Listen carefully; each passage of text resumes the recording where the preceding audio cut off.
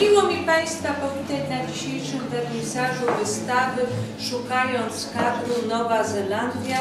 E, Autorem prac, które dzisiaj możemy podziwiać jest Pan Wojciech Andryszczak, e, który od czterech lat jest związany z Muszyną mieszkaniem i pracą. Ale wcześniej był związany z Muszyną, e, ponieważ jego wujek to Pan Juliusz Jarończyk tutaj nasz nestor fotografii muszyńskiej, jak również jeden y, z założycieli klubu Zefirek. I właśnie z tym klubem Zefir, y, Zefirkiem jest związana właśnie jedna z nagród, którą zdobył Pan Wojciech. Właśnie dawny klub modelarski, który został utrwalony przez Pana Wojciecha, zdobył pierwszą nagrodę w konkursie Detal Krajstwa Muszyńskiego. Zresztą nie była to jedna nagroda, w ubiegłym roku również zdobył pierwszą nagrodę na tym konkursie.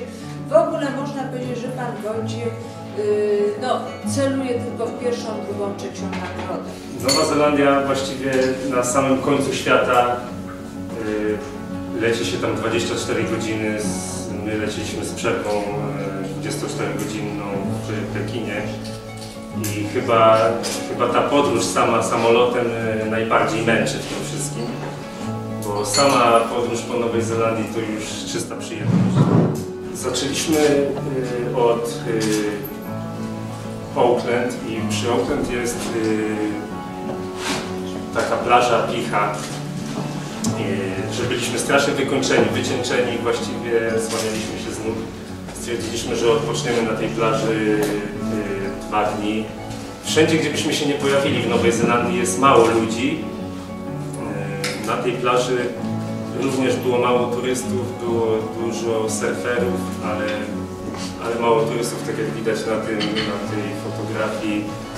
Właściwie tam jest parę osób tylko. Nowa Zelandia y, ma ludność 4,5 miliona mieszkańców, więc, a jest niewiele mniejsza od, od Polski. Oddaliśmy samochód i zaczęliśmy łapać autostopa. Z, y, ogólnie był cały plan wycieczki wcześniej, zaplanowaliśmy tak, że będziemy łapać to, będziemy podróżować autostopem. Z tego względu, że, że jest to przygoda, jest, jest po pierwsze jest przygoda, poznajemy wspaniałych ludzi i jest to też tania, tani sposób podróżowania po Nowej Zelandii albo w ogóle po świecie.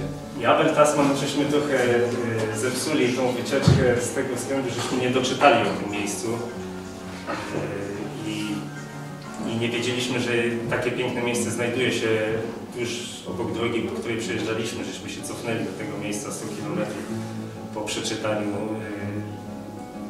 przewodnika. I że już mieliśmy załatwiony, zabukowany bilet e, na prom z powrotem na północną wyspę, bo już trzeba było się wracać. E, Musieliśmy bardzo szybko jakby oblecieć ten, ten szlak, chociaż trochę go zobaczyć, jak, jak wygląda. E,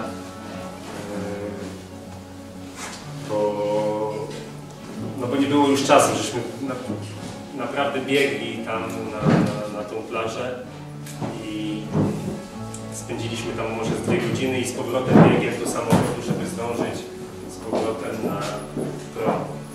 Z powrotem niestety yy, na północną wyspę nie było już tak przyjemnie, bo s- nie, pogoda się zepsuła i zerwał się wiatr, więc yy, strasznie kołysało tym promem.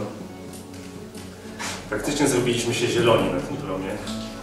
Chociaż myślałem, że jestem odporny na takie, na takie rzeczy, na falowania. E, jednak okazało się, że nie. E, I pojechaliśmy, czyli już na północnej wyspie praktycznie zwiedziliśmy ten, ten rejon, więc pojechaliśmy na półwysep Koromandy, to jest przy e, 70 km od Auckland. E, To już były ostatnie dni naszej wycieczki. I to są te zdjęcia, te trzy tutaj za, za, za Państwa głowami. To jest taka jama, y, jama w skale y, na wylot. Taka ciekawostka, że tam kręcili opowieści z Narni, jak tam pociąg przejeżdżał, czy, czy coś chyba w jakiejś drugiej części albo, albo trzeciej, nie, pamiętam. E, Nocne zdjęcie nieba, też, też przy tym też na, przy tym, przy tym Cathedral Cove. Są jakieś kryzysowe momenty takich no, długich podróżach i no i chyba ciężkich jednak. Mm, Są, są e, z tego względu, że codzienne chodzenie po górach e, jednak męczy mięśnie, e, męczy kondycję i, i tutaj na, na przykładowo na Isthmus Peak, w który wchodziliśmy, no to już była trzecia, trzeci tydzień podróży. Po prostu już mieliśmy dość i, i mięśnie nam odmawiały posłuszeństwa. Wchodziliśmy tam z językiem na wierzchu po prostu po, tym, po tej ścieżce tutaj. Jak ceny, na przykład wynajęcia samochodu czy jedzenia? Yy, Wynajęcie samochodu kosztowało nas yy, 40 dolarów, to jest razy 3 polskie, 40 dolarów yy, za dzień z ubezpieczeniem i, i ze wszystkim, że w razie wypadku yy, ubezpieczania pokrywa koszty, bo można było wynająć o połowę taniej bez, bez, bez ubezpieczenia, no ale wiadomo, jest ryzyko.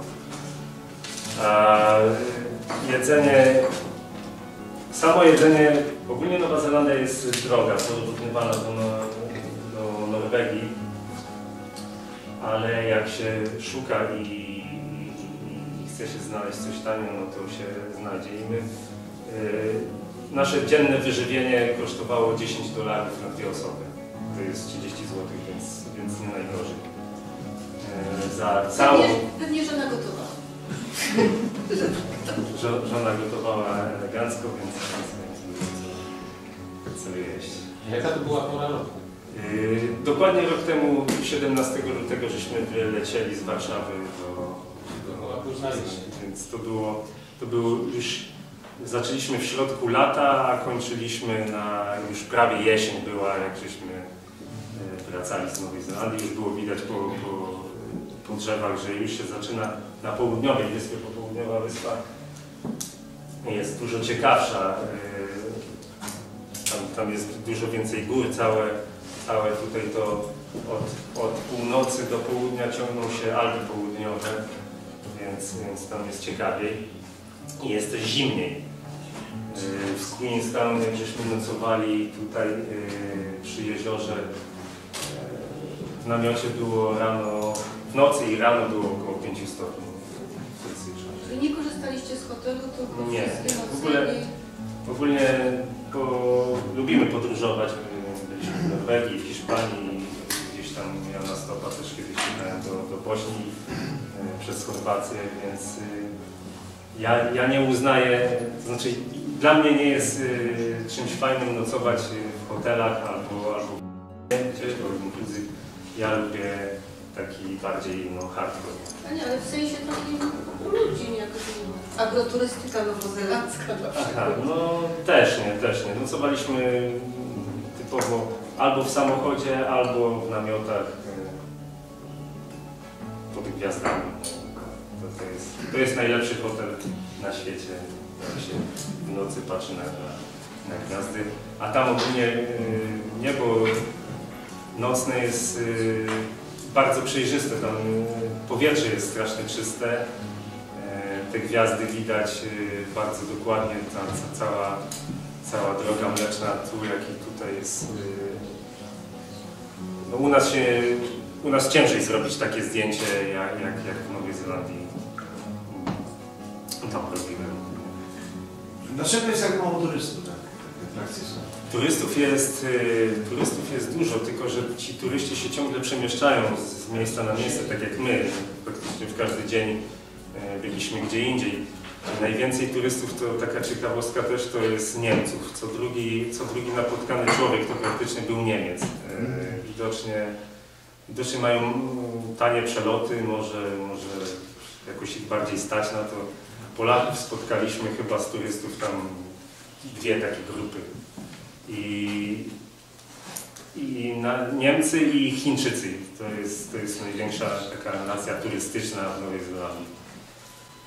A, a ogólnie, no to mówię, no to jest niewiele mniejszy kraj jak, jak Polska, a, a tam jest tylko 4,5 miliona ludności, więc y, nawet jak jechaliśmy z y, takim jednym panem na stopa przez całą południową wyspę. Przez 5 godzin spotkaliśmy na drodze tylko jedno auto.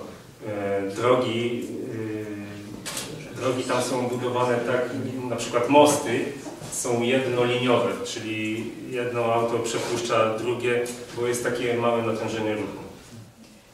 Widzę, że temat i nasz artysta już chyba wyczerpany.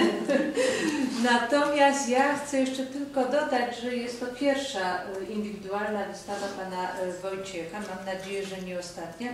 I obiecał nam pan Wojciech również, że zabierze nas w podróż właśnie e, na prelekcji. Dobrze pamiętam. Także jeszcze będzie możliwość usłyszeć pana Wojciecha na prelekcji, którą tutaj zorganizujemy.